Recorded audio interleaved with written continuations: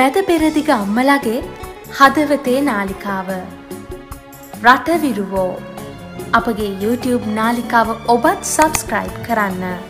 පහලතින bell අයිකන එක click කරන්නත් අමතක කරන්න එපා. අද ඔබට මේ කතා කරන්න උත්සාහ කරේ. ඇත්ත වශයෙන්ම ජාත්‍යන්තර කාන්තා දිනය කියලා අද ලංකාවේ බැලුවොත් පාර්ලිමේන්තුවලින් අපේ මැති ඇමති ගොල්ලෝ ඉන්නවා කාන්තාවෝ ඒ වගේම මන්ත්‍රීවරියෝ ඉන්නවා කාන්තාවෝ සියලුම පක්ෂවලින් මේ මහජන නියෝජිතයෝ මහජනතාව නියෝජනය කරන ඒ පාර්ලිමේන්තුවේ හැම පක්ෂකින්ම ඉන්නවා කාන්තාවෝ ඒ වගේම අපේ ලංකාවේ නොයෙකුත් කාන්තා සංවිධාන තියෙනවා ඒ කාන්තා සංවිධානවලින් කිසිම කෙනෙක් මම හිතන්නේ මේ විදේශගත අම්මලා වෙනුවෙන් ඒ පාර්ලිමේන්තුවේ සිටින කාන්තාවන් සමග සම්බන්ධ වෙලා ඉන්න කිසිම කෙනෙක් මේ අපේ විදේශගත අම්මලගේ ප්‍රශ්න කිසිම කවදාවත් මේ පාර්ලිමේන්තුව වල කතා කරනවා කියලා. පළවෙනි දේ අපේ මේ විදේශගත වෙලා ඉන්න අම්මලා කවදාවත් කිසිම රජයකින් ඉන්න නිවාසෙ ඉල්ලලා නැහැ. ඒ වගේම ඉඩමක් ඉල්ලලා නැහැ. පඩි වැඩි කරන්න කියලා උද්ඝෝෂණ කළා නැහැ. කවදාවත් මේ මැද පෙරදිගේ ඉන්න අම්මලගේ පවුල් වල අය ගිහිල්ලා ජනාධිපතිතුමනි අපේ මේ රටේ ඉඳලා අවුරුදු 20 25 ඉඳලා අපේ ගෙවල් වල ඉන්න අපේ කාන්තාවෝ අද ගෙවල් වල අසරණ වෙලා ඉන්නවා කියලා විශ්‍රාම වැටුප් ඉල්ලලා නැහැ. කිසිම දෙයකට උද්ඝෝෂණ කළා නැහැ.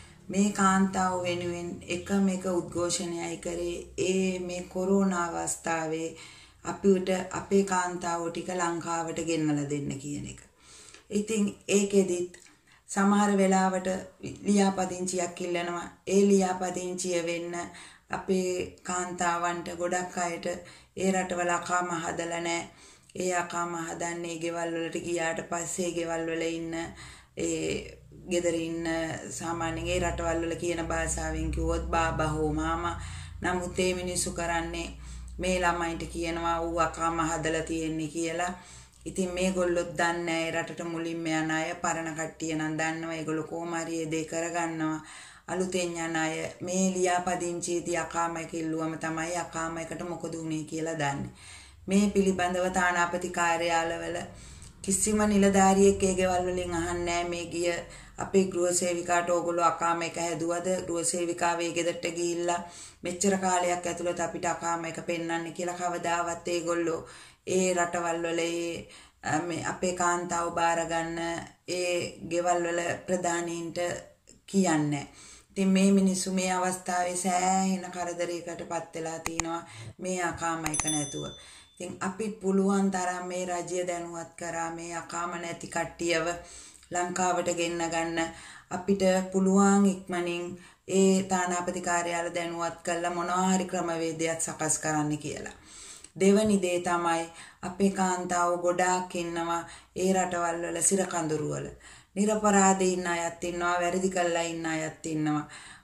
මේ විදේශ කටයුතු අමාත්‍යාංශවලට පුළුවන් ඒ තානාපති කාර්යාල වලින් තොරතුරු ලබාගෙන ඒ වැරදි කරපු කට්ටියට මොකද්ද දෙන්න දඬුවම ඒ කාල සීමාව කවදා වෙනකන්ද ඒ කාල සීමාව ඉවර වෙනකන් ඒ අයව තියලා ලංකාවට එවන්න කියන්න.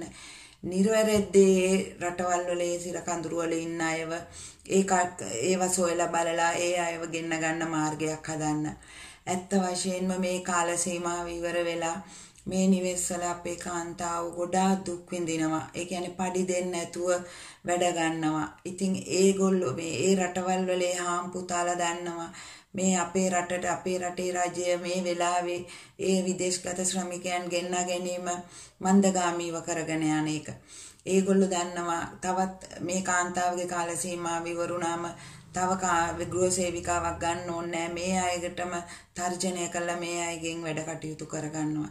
ඉතින් ඇත්තෙන්ම අපි මේවා ඒ අවශ්‍ය ආයතන දැනුවත් කරලා තිනවා. ඉතින් ඒ ආයතන වලින් කිසිම තොරතුරක් මේ වෙනකන් ඒ තානාපති කාර්යාල වලට දැනුම් දීලා නැති බවයි තානාපති කාර්යාල වලට යන ගෘහ සේවිකාවන්ට තානාපති කාර්යාල නිලධාරීන් දැනුම් දීලා තියෙන්නේ. ඇත්ත වශයෙන්ම මේ අපේ මැද පෙරදිග ඉන්න කාන්තාව මේ කොරෝනා සමයේදී කාන්තාව කී දෙනෙක් ජීවිතක්ෂයට පත් වුණාද මේ කොරෝනා හින්දා. නමුත් කවුද කොයි කෙනාද මේ පාර්ලිමේන්තුවේ ඉන්න කොයි ඇමතිවරියද මේ අපේ කාන්තාවන්ට වග කියන්නේ කවුද කියන එක ඇහුවේ. එළියේ ඉන්න කාන්තාව උද්ඝෝෂණ කරනවා රටවිරුවන්ගේ දෙමව්පියෝ ගිහිල්ලා උද්ඝෝෂණ කරනවා. ඒ වයිදාට විතරයි. නමුත් පාර්ලිමේන්තුවේ කොයි කාන්තාවද හඬක් නැගුවේ? මේ මරණ වෙන්න දෙන්න එපා. මේ අය විතා ඉක්මනින් මේ ලංකාවට ගෙන්න ගන්න කටයුතු යොදන්න කියලා.